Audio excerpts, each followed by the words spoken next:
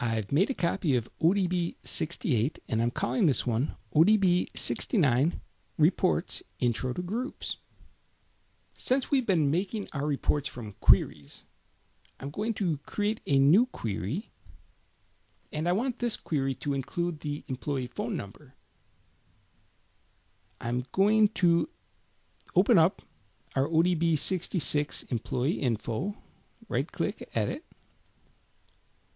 I'm going to bring down our selection criteria so we can see our tables. I want to add a table, the phone number table, add, close. I'm going to bring down the group so we can see three relationships to the employees table. Going to double click on the phone number to add that. I want to save this as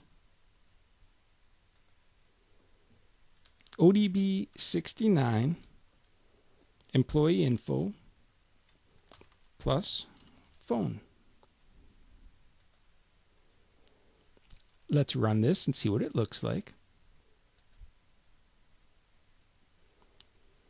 Here we see every record for our phone number and the employee information is repeated each time for each unique phone number. This is the query that we want to use as input for our next report. I'm going into reports. I'm going to create a new report using the wizard. I can close our add field dialog box. I want to select the query that we just created, ODB 69 employee info plus phone. And I'm going to add all those fields. Next, I'm going to change the label for our employee ID to EMP-ID. And we're not going to do any grouping yet and not sort anything yet. Leave this as tabular. The name ODB69 employee info plus phone. That's good. Let's finish and create that report. We see the output from this report looks a lot like the output from the query. We've got our employee ID number 3, Williams, printed three times, one for each unique phone number.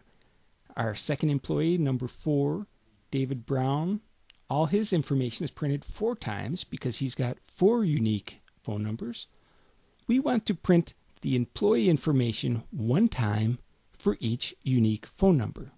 While I'm editing for that, I may also reduce the size of these margins and change the department name to department to get rid of this arrow. I'll close this. Let's edit the report ODB 69 employee info plus phone. The first thing I want to do is select all the detail fields that I only want to show up one time. I'm going to start with the employee ID. I'm going to hold down shift, click on the last name, first name, department name, group name, and hourly wage. Scrolling to the right shows our last field is phone number, and that one is going to print out every time, so we do not need to select that. Going to turn on our properties control, and for all those fields that we have selected, I'm going to change the print repeated values from yes to no as well as the print repeated value on group change. Make this one no. This will change all those fields to only print out one time. Now I'm going to select that department name, make this department, clicking on the group name label, make that one just group. I'm also going to center the employee ID, the label as well as the detail field. Instead of left, I want this to be center. I'm also going to look at the page footer change visible to no, as well as the header. Make that no. I'm going to save this and run the report. Here we see our labels are printed at the top of the page. Then the ID is printed one time, as well as the name, department, group, and hourly wage for each unique employee phone number. Now, we do see a problem here. When we get down to this third record, we've got Donna Lee. It does not print out the department for this gal. To change that, I'm going to select the department and the group and where it says print repeated value on group change, I'm going to change that to yes. Let's save this and rerun the report. And we see no change. I believe this is a bug in the LibreOffice base report builder feature. I think it should reprint this department whether it's changed or not. We can see the group is repeated because the group has changed. Down here, it has not changed. We updated this print repeated value on group change to yes, but it has no effect. So this is where I believe there's a, a slight bug in LibreOffice that hopefully they'll get this fixed soon. I'm switching these both back to no and rerunning the report. This report looks pretty good but all the phone numbers are grouped together. I want to separate each employee with a space or maybe even put a line in between each employee ID. The first thing we think we could do is add a little space under the detail. When we run this, we see that it adds space between each record. We want to group these by the employee ID. To do that, I'm going to right click inside that margin and open up our sorting and grouping. Clicking in the top spot in the groups, I want to group by employee ID. It will also sort by the employee ID.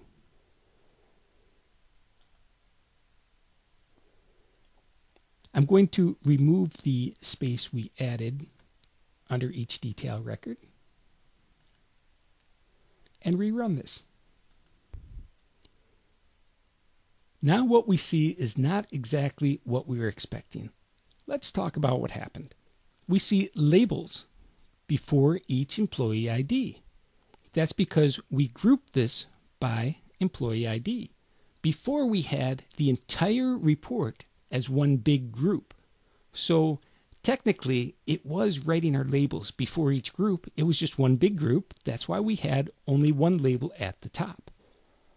How we're going to fix this is we're going to move our labels into the page header and then leave the space in our header as space between our employees, which is what we are trying to do. Going to turn off the properties for a minute. Select all our labels, holding down Shift, clicking on last name, first name, department, group, hourly wage, and the phone number label. Now I'm just going to move these up because I've got the four-sided arrow. I'm going to align to the top of section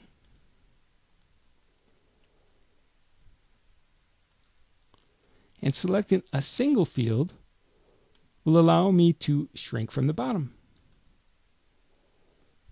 And we turned this off earlier, so I'm going to need to turn on the properties, make sure my page header is selected, and the visible, change that from no to yes.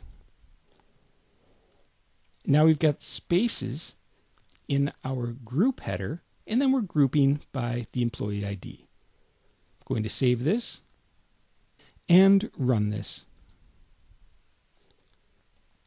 Now we see we've got labels as page headers and space for our group headers. The next change I want to make is I'm going to put a thick line under the page header and then a thin line after each employee. To create our thick line, I'm going to add a little space under our labels. Going to insert shapes, basic shapes. We'll select a rectangle. Going to make it thinner, really thin, just enough to be like a thick line. And then stretch that out to fill the entire area. I'm using my arrow keys to move that up. Whoops, that's too high. Now let's move up our page header area. I'm going to right click in the left margin again to bring up our sorting and grouping. I'm going to turn on the group footer, make that present, and turn off the group header to add my line. I'm going to turn off the properties control. To add a thin line, I'm going to click on this horizontal line. There's also a vertical line. I want the horizontal to go from the left side of the page all the way to the right side. I also want to make our group footer a little smaller.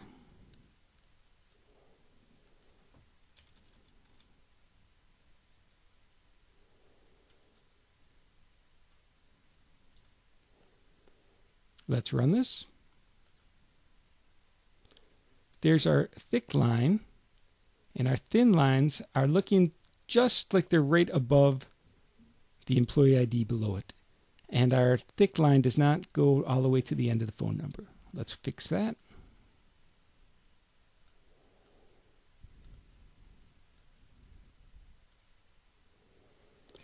And I want to move this to be more in the center area.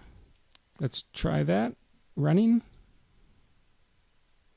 And now it's just below the last record, not very well centered.